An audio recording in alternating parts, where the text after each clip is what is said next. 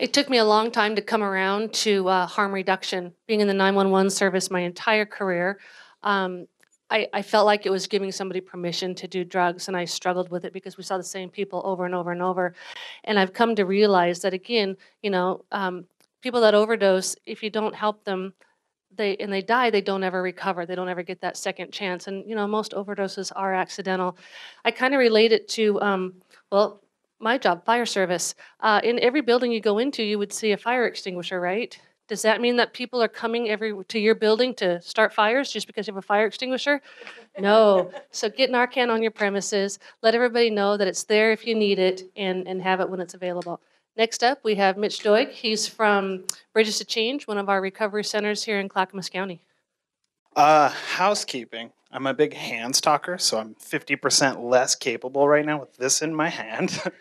um, and I talk fast sometimes. So if anybody wants to like volunteer to say, Mitch, slow down, I will gladly accept that. Um, one final thing is uh, because so this is supposed to be an overview of treatment that's available in the area. I didn't want to leave any specific agency out or talk more about my program or any of those things. So I'm actually not going to name any specific agencies. I can help you find those if you are interested, but more what I want to be going over today is uh, what to like kind of that what to expect when you're expecting model of what to look for when you're looking for treatment um, and kind of like what treatment actually is. I always joke around. Uh, it would be really great if almost every treatment program had an orientation of here's how to use us better. So hopefully this will help you help other people too.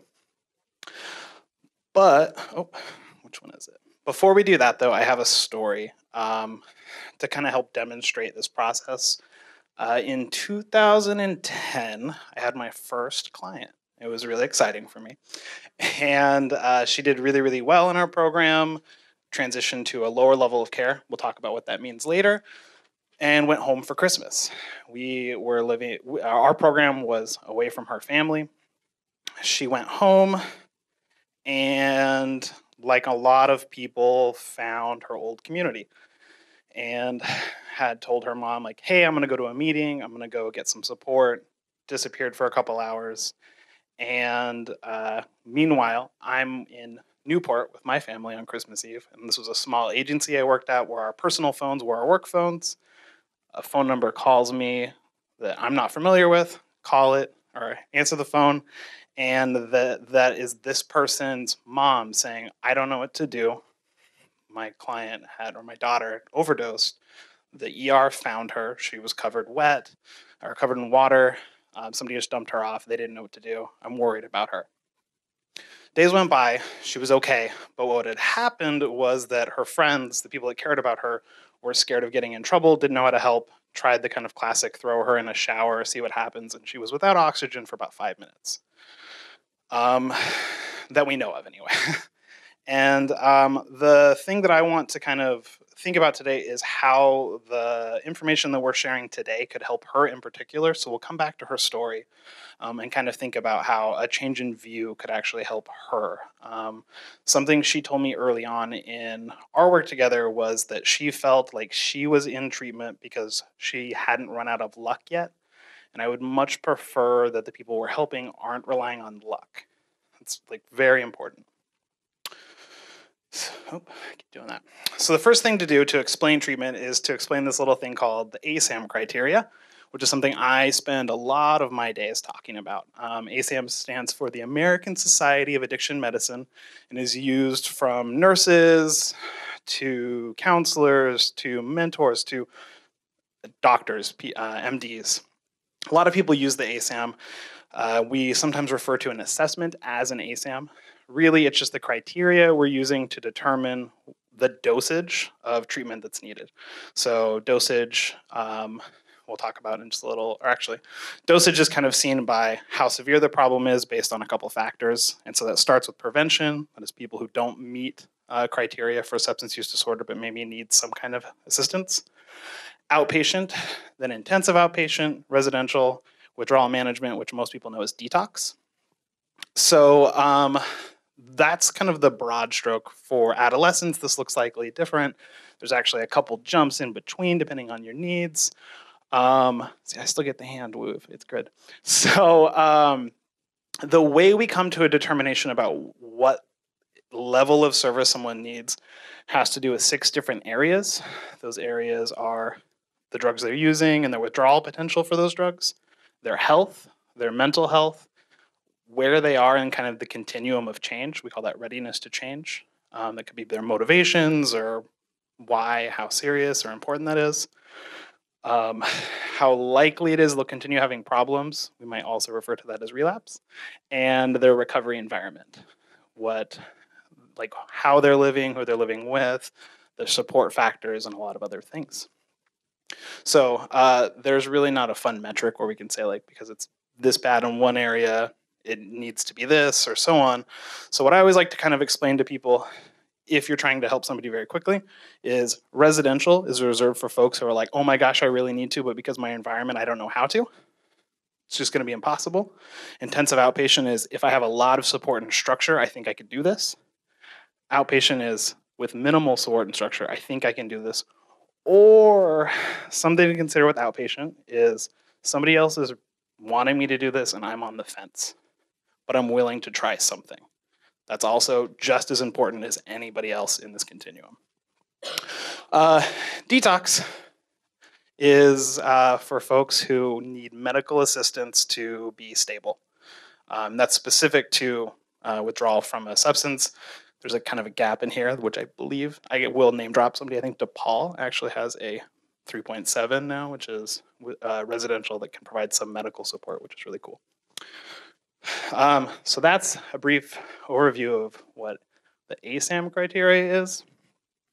The thing that I wanted to spend a little bit more time on, um, I'm gonna keep doing that, is kind of the range in what treatment might look like for folks.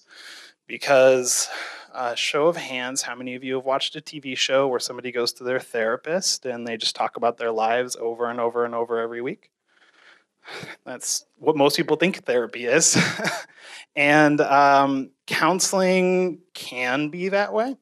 I have definitely utilized my EAP service sometimes to have that. Plug for EAP. So um, I think really uh, drug and alcohol treatment is a very intentional act, though. And a lot of times we get lost in this idea of I need to go to a six month program or a nine month program or a 30 day program, and I need to graduate and I need to move on with my life. I'm fixed. And as I used to tell the parents of the teenagers I would work with, your son or daughter or child is not a TV. I can't fix them that easy. So it's going to look a little bit different. So that could range from relapse prevention planning to developing different coping skills, kind of working on the underlying reasons that we might be using substances. Um, something that the person who I spoke about earlier had told me was she really liked heroin. Well, first it was Oxy. She was part of the second wave that April had mentioned earlier um, of people that kind of transitioned from one opioid to another. Felt like a warm hug. It was something that made her feel important, wanted, and relieved pain. Not just physical pain, but more importantly, probably to her, was emotional pain. So, a lot of the things we tend to work with are things that uh, cause a lot of emotional pain. And uh, that doesn't mean having to revisit trauma.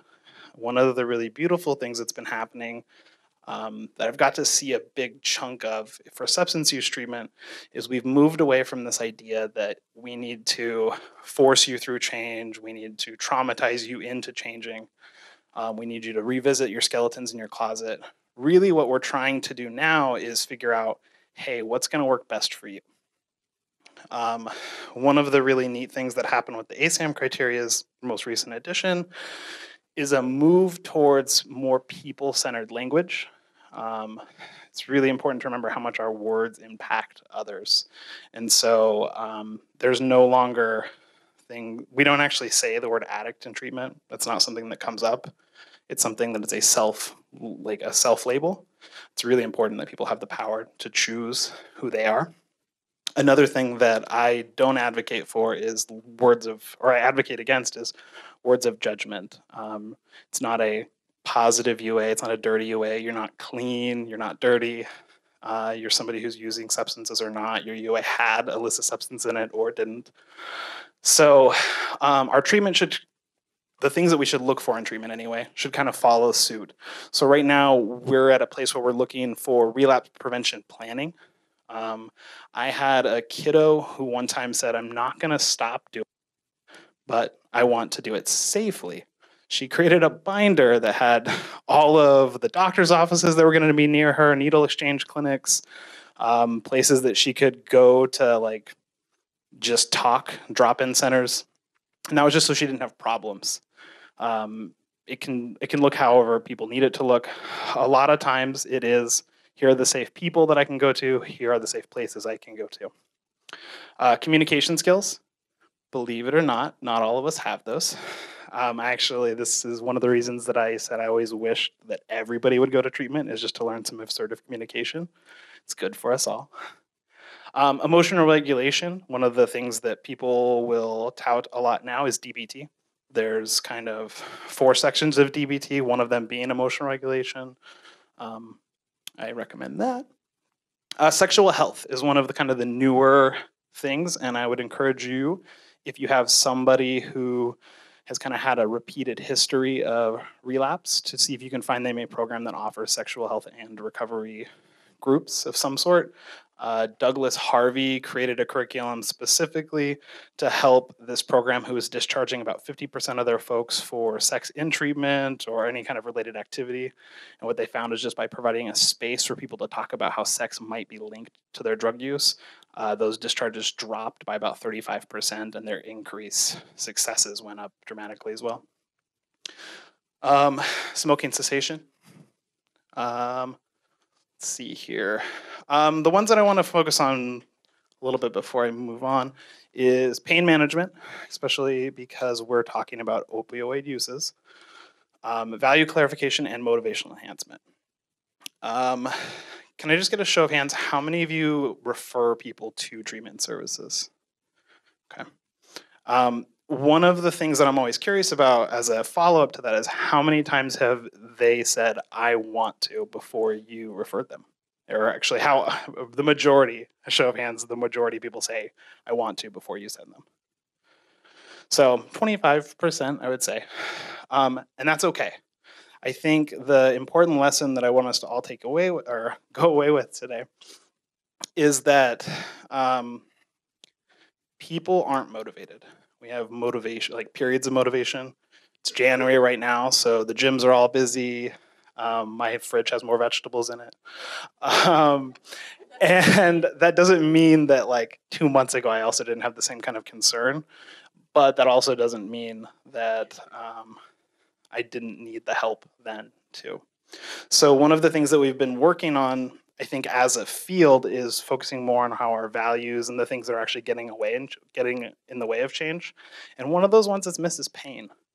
Um, I used to work at a methadone program, and people neglect their bodies when they're neglecting their bodies. And a lot of times, one of the most common myths in methadone treatment is that methadone will destroy your bones. And one of the things that I often found was that people would have neglected back injuries, knee injuries, anything of the sort. They're no longer using a substance that will treat that pain. And now they feel like their bones are falling apart. And so finding some kind of way to provide them with skills for pain management that oftentimes actually work with their emotional regulation skills is invaluable.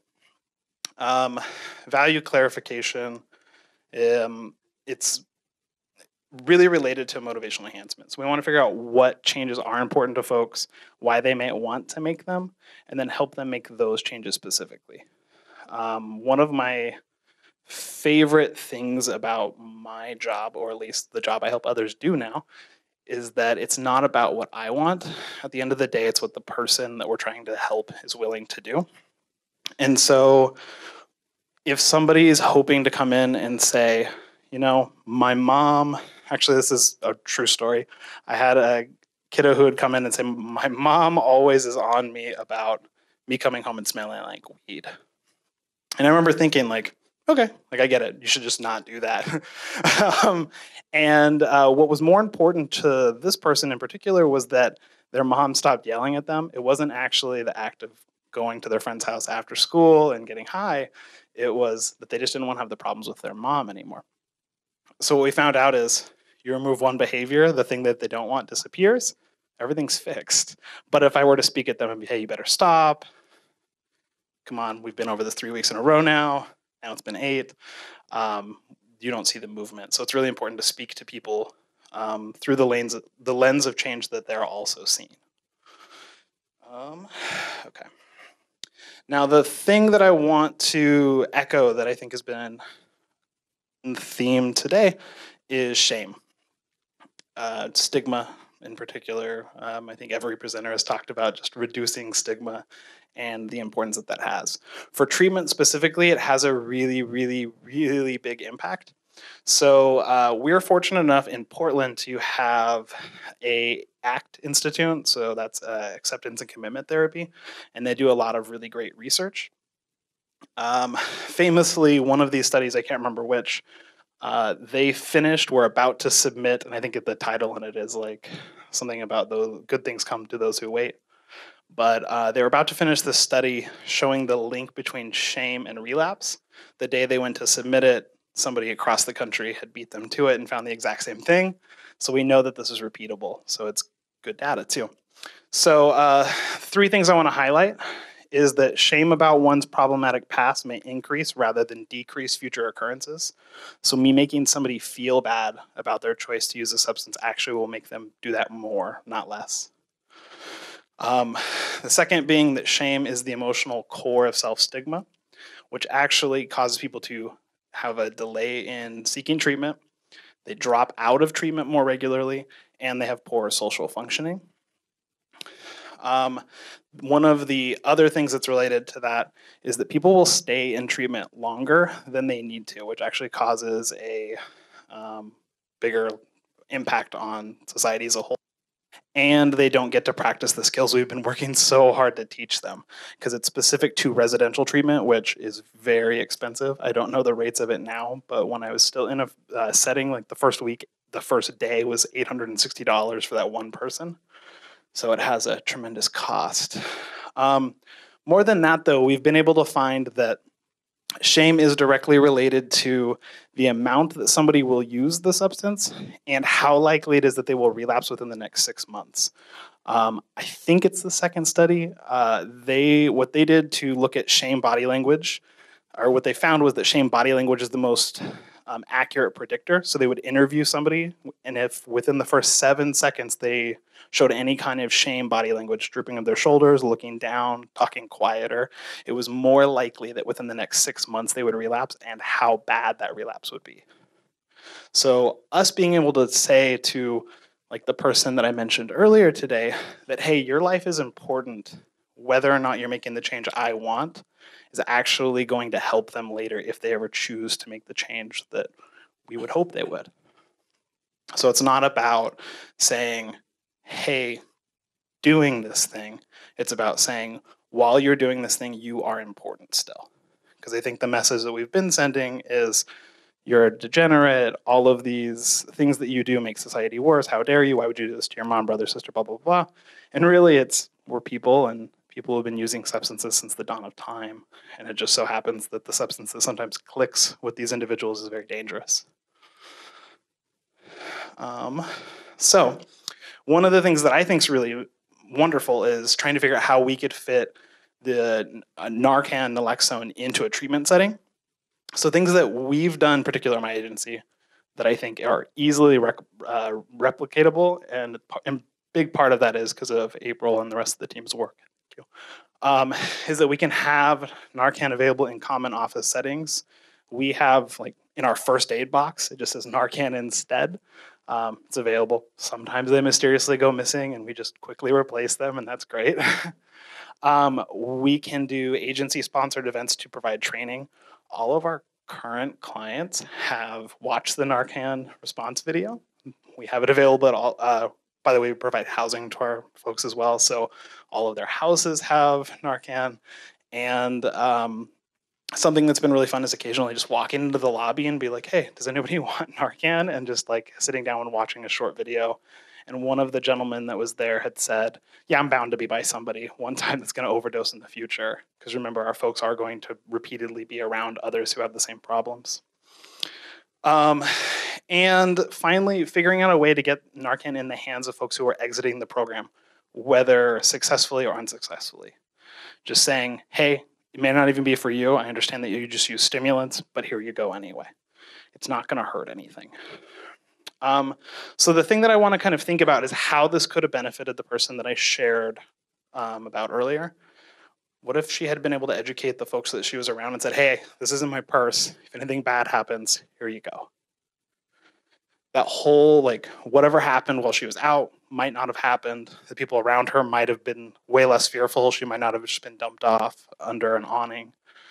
Um, her mom might have felt differently about the whole situation, and and probably more importantly, we wouldn't have had the conversations about the shame and guilt she had about scaring her family and potentially dying when she got back. It would have been a much different outcome.